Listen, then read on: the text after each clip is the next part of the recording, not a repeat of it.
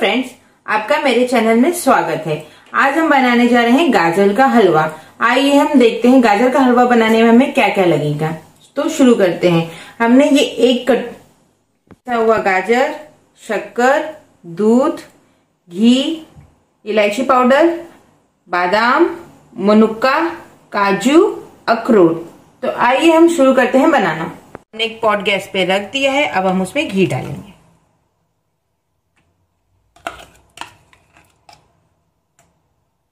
जब तक हमारा घी मेल्ट होता है, हम वेट करेंगे। हमारा घी मेल्ट हो चुका है, अब हम इसमें गाजर डालेंगे।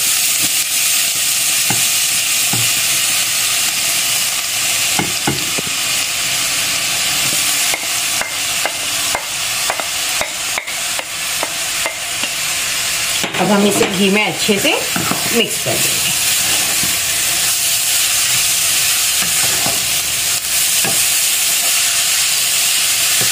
गाजर अच्छे से मिक्स हो चुका है। अब हम इसे पाँच मिनट के लिए लो फ्लेम पे पकाएँगे ढककर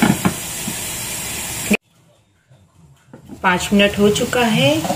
ये देखिए, हमारे गाजर का कलर थोड़ा सा चेंज हो गया है। अब हम इसमें मिल्क ऐड करें।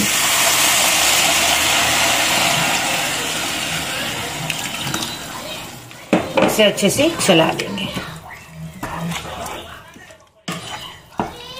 अब हम इसे 10 मिनट के लिए ढककर पकाएँगे और बीच बीच में हम इसे चलाते रहेंगे।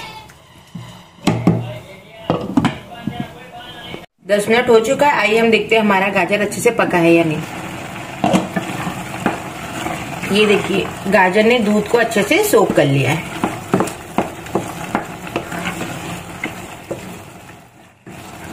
अब हम इसमें शक्कर ऐड करेंगे। शक्कर आप अपने स्वाद के अनुसार कम ज़्यादा ऐड कर सकते हैं। अब हम इसे अच्छे से मिक्स कर लेंगे।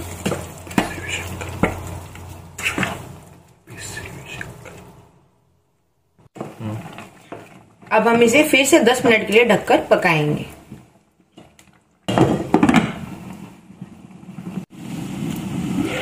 ये देखिए, गाजर ने कितना पानी छोड़ा है। ये पूरी शक्कर अच्छे से मेल्ट हो चुकी है। अब हम इसे ढकेंगे नहीं, अब इसे हम खोलकर इसका पानी जलने तक इसे पकाएँगे। ये देखिए, हमारा गाजर का हलवा कितने अच्छे से पक चुका है। इसका कितना अच्छा कलर आया है। अब हम इसमें इलायची पाउडर डालेंगे और सब पूरा ड्राई फ्रूट्स डालेंगे।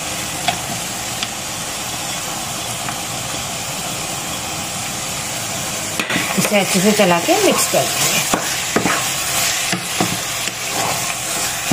इलायची पाउडर से गाजर के हलवे में बहुत अच्छा फ्लेवर आता है। अब इसे पाँच मिनट के लिए और भूनेंगे।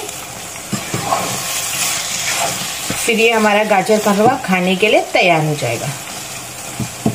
मैं सर्व कर।